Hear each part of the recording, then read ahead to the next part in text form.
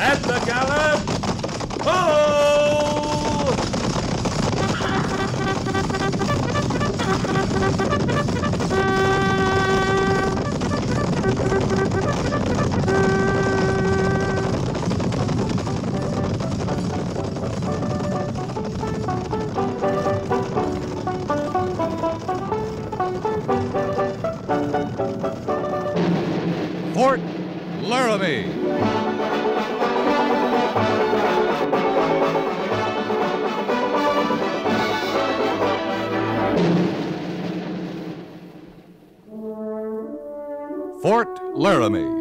Starring Raymond Burr as Captain Lee Quince.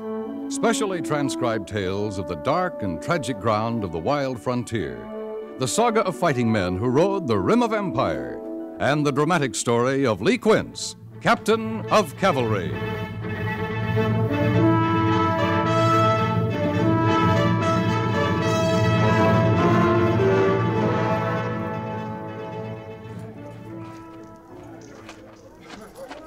Looks like they're about ready to pull out, Captain. Yeah.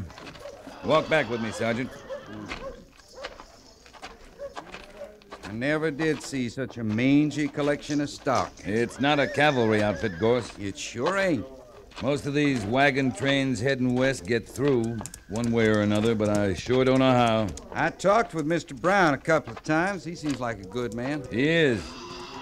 But I wonder how much luck a Missouri farmer is going to have taking a couple of hundred women and children through Indian country. He'll make out, Captain. I hope so. Hello, Sergeant Gorse. I beg your pardon, miss. I was afraid we'd leave without seeing you again. Oh, well, I. I And I wanted to thank you for last night. Yeah, oh, sure, miss. Goodbye, Sergeant. And thank you.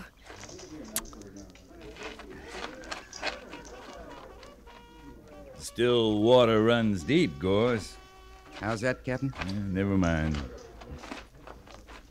All I did was give her a little old knife. I, I bought it at the Sutler's. Never mind, never mind. That's all it was, Captain. I, I just give her a little old present. Sure, Sergeant. Somebody got those key.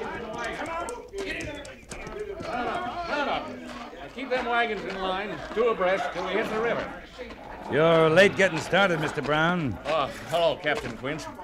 Uh, only about an hour. You're wasting daylight. Yeah, we're pulling out now, Captain. Any of your men going to ride along with us? No, but you won't have any trouble. Like they say, Captain, Oregon or bust. You guarantee no trouble, Captain? Out here, we don't guarantee anything, Mr. Brown. But you should at least get through to Salt Lake without trouble. Yeah, I hope you're right. It's mighty lonely out there once you're out of sight of the fort. Yeah, I know.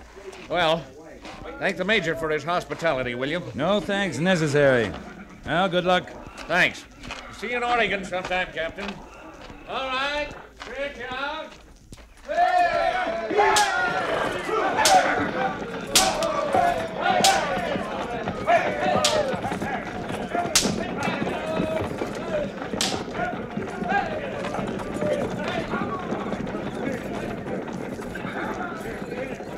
Well, Gorse, what are you staring at? Oh, nothing, Captain. Just a train heading out. You've seen a few hundred of them before, Sergeant. Yes, sir. Hmm. What's her name? Who? The girl? Emily? Emily McCutcheon. Going to Oregon with her pa. She was put up real good. You're all cavalry, Gorse. Yes, sir. Long way to Oregon. I hope they make it. So do I. Yeah, come on. I missed coffee this morning. Let's find some.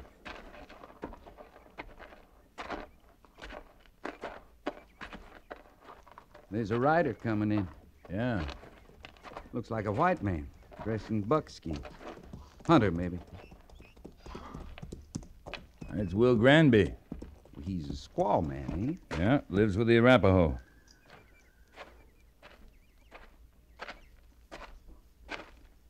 Captain? How are you, old horse? Hmm, tolerable. Well, it's good to see you. You haven't been in in two or three years. Nope. You come for supplies? Come to parley. Got a proposition. Huh? All right, come on in, Will. Hmm, oblige. Uh, Sergeant Gorse, will you have Mr. Granby's horse stabled? Yes, sir.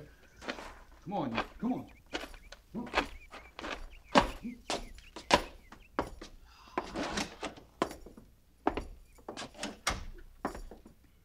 Sit down, Will. Oblige. All right, now what is it? What's your proposition? I figured maybe to hire out to you. You want a job? Cavalry always needs scouts. Maybe. You saying you want the job? Why not? I know this country better than the hairs on my head. Better than any man except old Gabe Bridger. There's some few places I've been even Gabe ain't. You're a mountain man, Will. You lived wild and free all your life. Why do you want to tie yourself down now? Yeah. It ain't like the old times no more, Captain. Ain't pleasurable now. It's hard. Maybe it's doing you cavalry fellers, or maybe it's our own fault. Maybe we trapped too much, took too much buffalo. I don't know. But uh, I got me a young squaw, prettiest you ever seen. I figured if I was to work, her and me'd eat regular at least. Right now we have peace. We don't need any more scouts. I figure you do, Captain. Tell me, Will. Am I hired? I haven't got the authority to hire you. That'll have to come from the major. No, I, I'd rather deal with you. I know you. I can't hire you, but if you've got information, I'll make you a promise. At least I'll feed you and send you back with meat. Yeah, meat I could carry wouldn't last long. Then we'll go see the major. Now, wait. I'd rather tell you, but uh, you got to promise me one thing What's that? that it'll be settled peaceful. They're my people. Will, uh, I'll do all I can. All right? There's going to be trouble. Tribes are getting restless, all of them. The Arapaho, even. Government promised them if they'd go to the agencies, they'd get food, meat. And that promise ain't been kept. Yeah, I know. The supply train comes through now and then, but it's not enough. I know that. The Arapaho are starving, Captain. Eating bark and roots. Game on agencies played out. If they can't get food from the government or from the land, then they got to go looking for it wherever they can. They got to eat. Will, have they left the agency? They're camped at Silver Spring. That's on the Oregon Trail. Mm, They got to eat, Captain. They went looking for buffalo, but there ain't no buffalo. So they'll get food where they can from the wagon trains. Well, we gotta talk to the major. Did you promise? I said I'd do all I could, and I will. There's not much time for talking. There's a wagon train headed for Silver Springs right now. Yeah, I know. I saw it. All right, come on. We'll see the major.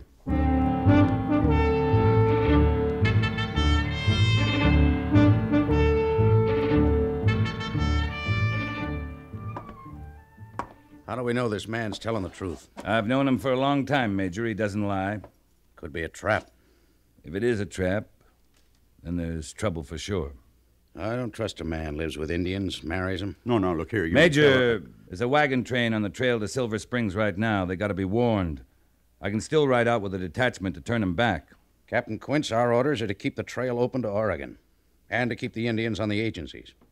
If anything, we'll send a company to escort the train through and run those Arapaho back where they belong. Couldn't do that without fighting, Major. That's one of the functions of the cavalry. In this case, there's no cause for it. The Arapaho have broken their treaty, Captain. The way they see it, we're the ones who broke the treaty by not keeping our promise about food. All I know is they're off the agency and they'll have to go back. If we go out in force, there's bound to be trouble. If I take a small detachment, maybe I can talk to them. This is a hostile action, Captain. It's got to be met as such. Major, the Arapaho are starving. They got to eat. Mr. Granby, I'm sorry that they're starving, but I can't do anything about it. At least not until the supplies come through to me. My orders are to keep the Arapaho on the agency, and I can do something about that. Those are people out there, Major, and they're hungry. They only want food. Captain Quince, you'll take Company B and escort the wagon train until you meet the Arapaho. You'll send the wagon train on and escort the Indians to the agency, and use whatever measures are necessary. That's all, Captain. Yes, sir.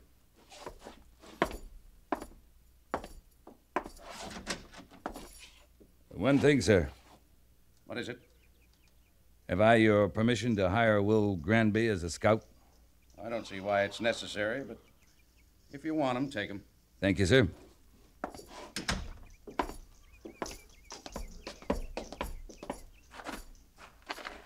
What kind of a man is that? Oh, he's all right, Will. He's an officer. He's got his orders. He goes by the book. He understands the situation all right, but he can't admit it. Listen, can you be ready to move out in an hour? I can't ride with you, Captain. They're my people. Will, I said I'd do what I could. I need your help. Ride with me. You know what you're asking? You know what it might mean for me if there's trouble? There won't be trouble if I can prevent it. I'm afraid you can't, Captain. But I'll go with you.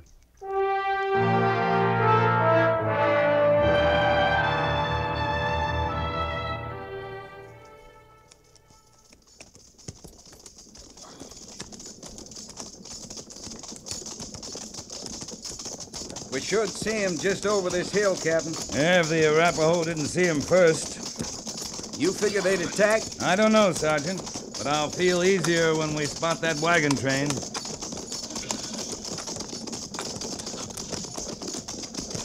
I was right, Captain. There they are. All right, Sergeant. Let's ride out. Company! At the gallop! At the gallop! Ho!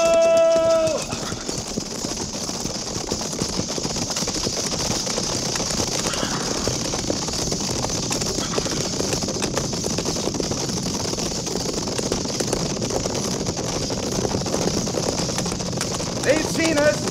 They're pulling up. Sergeant, blind men would have known we were here.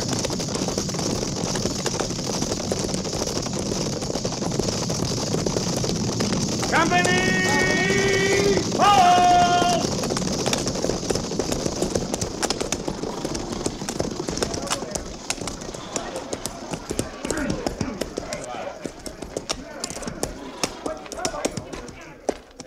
What's the matter, Captain? I want you to stop here, Mr. Brown, for the night. Oh, why? We figured to camp at Silver Springs. It's just over the pass there, not more than two or three miles. We can make it easy before dark. This'll make an all right camp. There's water and wood. If there's trouble, Captain, I want to know. It may be nothing, Mr. Brown, but I want to find out. You're to camp here and stay here till I give you the word to go on. It's Indians, ain't it? There is trouble. Maybe, maybe not.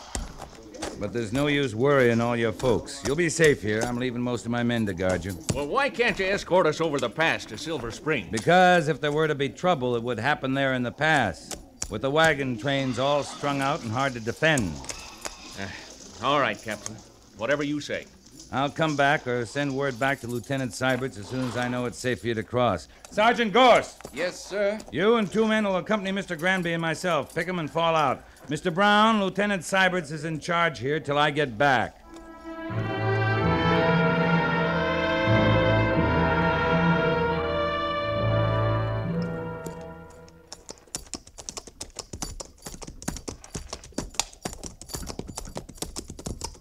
I don't see a doggone thing, Captain. Now keep a sharp eye. Move the troopers further out the flank. Yes, sir. Jenkins, I'll off to your right, You need to hear somewhere I can feel it.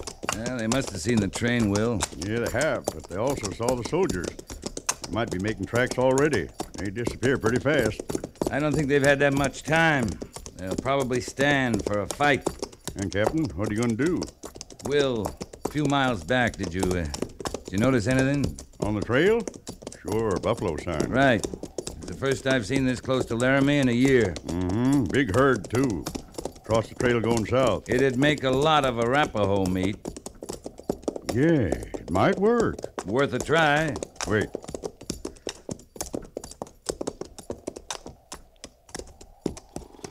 You see anything, Will? Yeah, one of the scouts. Leave it to me. Señor Ina, ya no seen na. Hanida Ina. No, no, Ina. Yeah. All right. He'll take us in.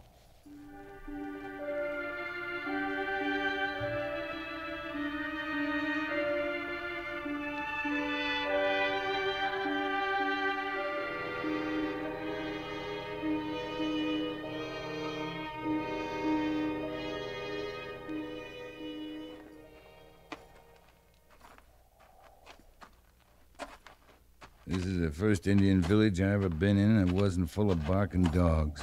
They had to eat him. You notice how it is, Captain? Yeah, I see. I'd say they're not very happy to see us. No. I'm, I'm sorry, Will, to turn them against you. Uh, can't be helped. Yeah, this is it. Hi, Daddy Two. Why do you bring white soldiers to fight your people? They don't come to fight, Greyfeather. This Captain Quince, he comes as a friend. White soldier is not a friend of Arapaho. White soldiers break promise. They do not give meat. I think I can get you meat, Greyfeather. I think I can take your hunters to Buffalo, a big herd. You think. You do not know. Arapaho have ride from agency in north, hunt buffalo all through Wide Valley. No buffalo. Greyfeather, on my way here from Fort Laramie, I saw much buffalo sign. You hunted only the north side of the river. You haven't been south of the Platte. I have. There are buffalo there. To hunt take many days. Wagon train is here now. If you attack that wagon train, it'll mean much fighting. Many dead among the Arapaho. Great mourning among the Arapaho. There will be mourning for the white soldiers, too. The Army will keep on sending soldiers, rifles, until the Arapaho is no more. You know I speak the truth. My people are hungry. Then ride back towards the fort with me. I'll show you Buffalo sign, then you can track from there. Take many days. It's the only way you can be sure to find buffalo and food. If you find buffalo in two days, Gray Feather does not attack wagon train. Two days isn't very long. Two days. If we do find buffalo, I want your promise to go peacefully back to the agency. If you find. All right, your hunters will come with me. But meantime, you must let the wagon train go through in peace. This one. Maybe not next one. It is agreed then, Greyfeather. Aina.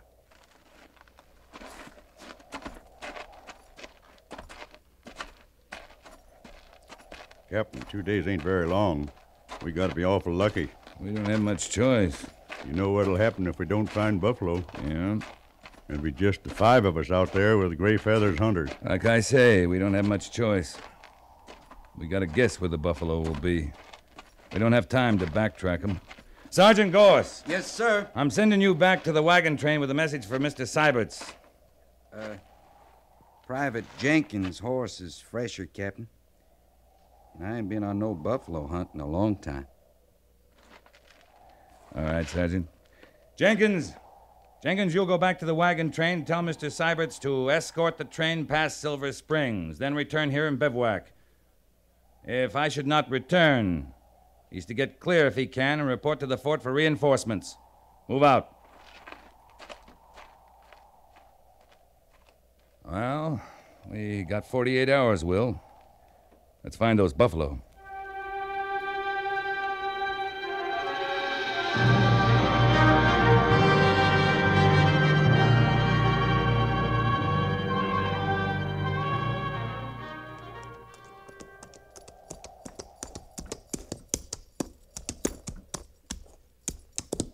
Anything, Will? Nothing, Captain. Not on that side. Nothing this way either. You can see a long way. I don't like the look of 'em back there. Gray Feather's getting anxious. I know. I, I just don't understand it, Will. It's not a sign. I've been thinking, Captain, we're too far south. The buffalo were headed south. Eh, maybe not as fast and as far as we thought. Maybe they veered east. No, I've been thinking. It's been hot and dry for these last few days, and no wind. Buffalo don't travel much in the heat. They just stand and graze and suffer with thirst. But there's wind now. Well, some from the southwest. But if they's up north of here, it'd bring 'em the smell of water from the Laramie River. Yeah. Yeah, the river's still high. Yeah, and they'd probably be craving for water about now, and they'd stick their noses into the wind and make a run for it, like they do. You might be right, Will. So if we cut back northeast to the Laramie, we'll find 'em. They might be there. There's only one trouble. What? Look who's coming. Uh huh.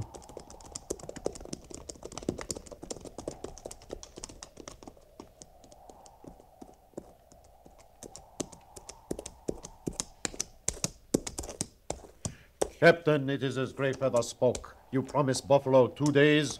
Now two days are gone. There is no buffalo. Your promise is like all promises of white soldier. We've been looking a long time, Greyfeather, but now we know where the buffalo are. Captain give much talk. We want buffalo, not talk. Greyfeather, my soldiers are at Silver Springs.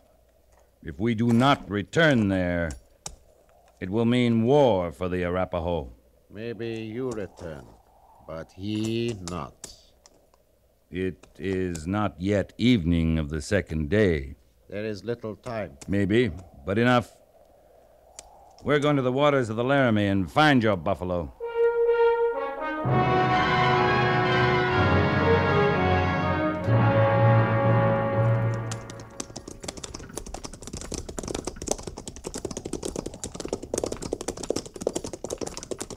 On this next rise, we ought to be able to see. That's right, Will.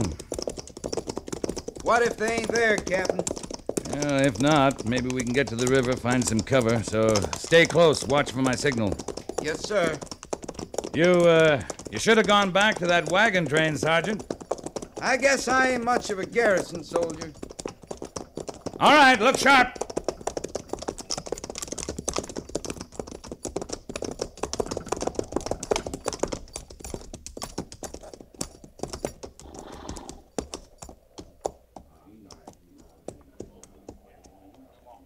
Captain, they ain't at the river. There's nothing. Wait, look there. Coming over the hills beyond, running for the river. Look at 'em. Thousands of 'em, noses in the wind and running belly bent for breakfast. There go your buffalo, gray feather, all you can eat. Well, go on, get 'em. They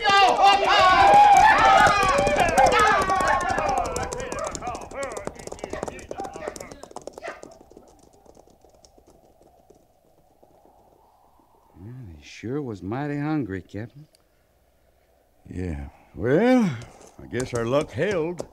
guess it did. Well, let's let's ride on down to the river. I could do with a drink.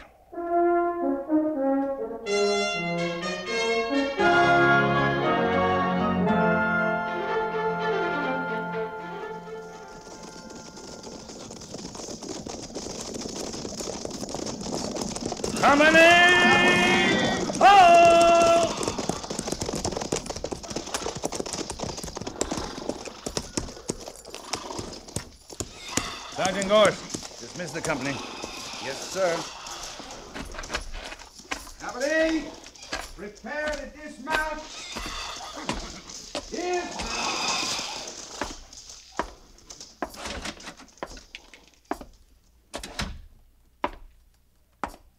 Well, you're back. Yes, sir. Did you have any trouble? No, sir. No casualties. Either side. You took long enough. The Oregon Trail's still open, Major. The Arapaho are back on the agency. What took the time? Why, uh. Why, we. We found some buffalo, stopped the hunt. The Indians took enough meat back to the agency to keep 'em quiet all summer. I see. Well, that that was fortunate. It was, uh, mostly Will Granby's doing. He found the buffalo. Oh, well. Maybe I was wrong about him, Lee. Maybe he can be useful to us. I think he can. I, uh, I brought him back with us. Uh, His wife, too. You, uh, you like to meet her? An Arapaho? She's sure not St. Louis. Sure. All right, Captain.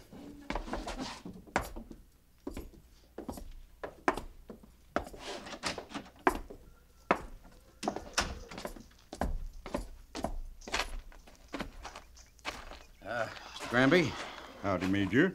This is Will's wife, Major. Lark woman. how do you do? Yeah, lawyer. Uh, Mr. Granby, Yes, sir. if she's to stay around the post, she'll, uh, she'll have to wear something more than that. Huh? Oh, yeah. yeah. She's got a shirt somewhere in the baggage. See, Arapaho women aren't like Cheyenne or the Sioux or Crow. They don't wear much except when it's right cold. There are a lot of men on the post, Will. Huh? Oh, yes, sir, Captain. I'll, I'll see to it. Oh, and Mr. Granby, Yes, sir. my compliments on your work with Captain Quince. As of now, you may consider yourself on the Army payroll as scout. It'll be in tomorrow's special orders. Yes, sir. The quartermaster will house you. Oblige, Major. Come on, child. Oh, she's uh, kind of pretty, isn't she, Lee? Yeah. They make uh, pretty good wives, too. Clean, quiet, hardworking. Nice people. Uh, you wouldn't be trying to soften me up, would you, Lee? Win me over to your way of thinking? I figure a man's got to make up his own mind about things, Major. Captain Quince, yes, sir. don't get too smart. Just be thankful I don't ask how you happened to run into Buffalo and turn a serious police duty into a pleasure trip. Hunting. My striker's cooking up some buffalo steaks, Major Daggett. You, uh, like to come over to my quarters and try some? Sure, let's go, Lee.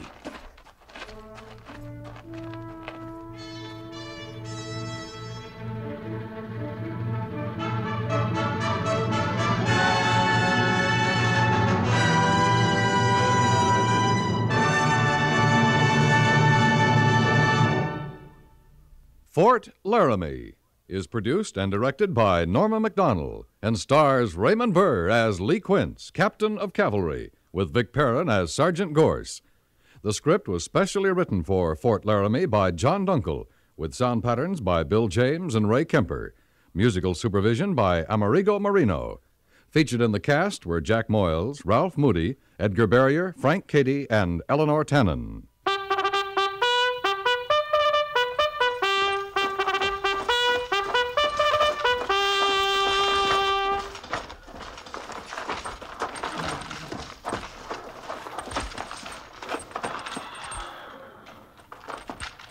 Company, tension!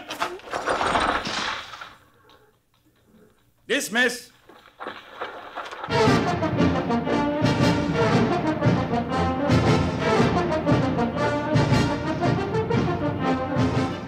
Next week, another transcribed story of the Northwest frontier and the troopers who fought under Lee Quince, Captain of Cavalry.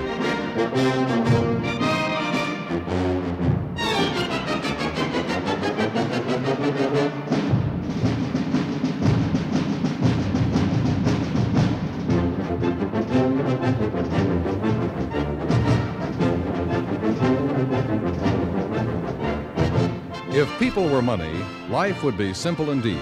We could enter them in books in nice, regular columns one for credit, another for loss. And as long as we kept the credit column higher, the losses wouldn't matter. Money spent can be re earned, but people are not money. Every individual is irreplaceable. The time to care about them is now, before another victim is hurt. Obviously, heart researchers may not find the cures and preventatives to all heart ailments the moment you contribute to the Heart Fund. But the sooner you do your part, the closer they'll come to answering the mysteries of the heart. Send your contribution to Heart, care of your local postmaster. That's Heart, H E A R T, Heart, care of your local postmaster.